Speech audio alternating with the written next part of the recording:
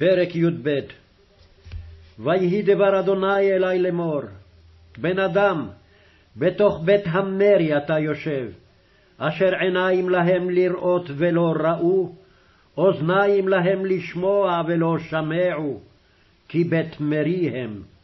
ואתה, בן אדם, עשה לך כלי גולה, וגלי יומם לעיניהם, וגלית ממקומך אל מקום אחר לעיניהם, אולי יראו כי בית מרי המה. והוצאת כליך ככלי גולה יומם לעיניהם, ואתה תצא בערב לעיניהם כמוצאי גולה. לעיניהם חתור לך בקיר, והוצאת בו, לעיניהם על כתף תישא, בעלתה תוציא, פניך תכסה, ולא תראה את הארץ, כי מופת נתתיך לבית ישראל. ואעש כן כאשר צוויתי, כלי הוצאתי ככלי גולה יומם, ובערב חתרתי לי בקיר ביד, בעלתה הוצאתי, על כתף נשאתי לעיניהם. ויהי דבר אדוני אלי בבוקר לאמור, בן אדם, הלא אמרו אליך בית ישראל, בית המרי, מה אתה עושה?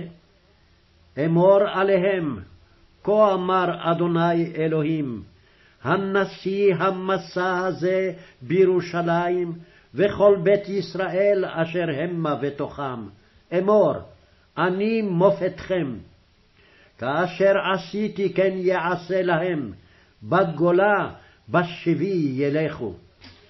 והנשיא אשר בתוכם אל כתף יישא בעלתה ויצא, בקיר יחתרו להוציבו, פניו יכסה, יען אשר לא יראה לעין הוא את הארץ. ופרסתי את רשתי עליו, ונתפס במצודתי, והבאתי אותו בבלה, ארץ כסדים, ואותה לא יראה, ושם ימות. וכל אשר סביבותיו עזרו, וכל אגפיו אזרה לכל רוח, וחרב אריק אחריהם. וידעו כי אני אדוני בהפיצי אותם בגויים, וזריתי אותם בארצות, והותרתי מהם אנשי מספר מחרב, מרעב ומדבר, למען יספרו את כל תועבותיהם בגויים, אשר באו שם, וידעו כי אני אדוני. ויהי דבר אדוני אלי לאמור, בן אדם, לחמך ברעש תאכל, ומימיך ברוגזה ובדאגה תשתה, ואמרת אל עם הארץ, כה אמר אדוני אלוהים ליושבי ירושלים, אל אדמת ישראל, לחמם בדאגה יאכלו, ומימיהם בשיממון ישתו, למען תשם ארצה ממלואה, מחמס כל היושבים בה.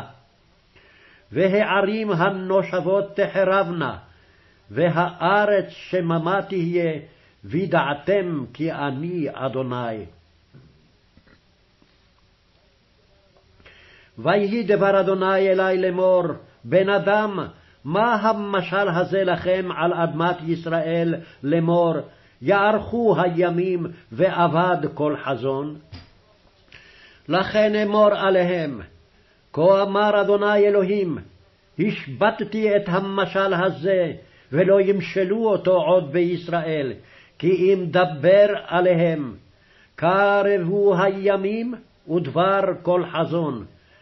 כי לא יהיה עוד כל חזון שווא ומקסם חלק בתוך בית ישראל, כי אני אדוני אדבר, את אשר אדבר דבר ויעשה, לא תימשך עוד, כי בימיכם בית המרי, אדבר דבר ועשיתיו נאום אדוני אלוהים. ויהי דבר אדוני אלי לאמור, בן אדם, הנה בית ישראל אומרים, החזון אשר הוא חוזה לימים רבים, ולעתים רחוקות הוא ניבא, לכן אמור עליהם.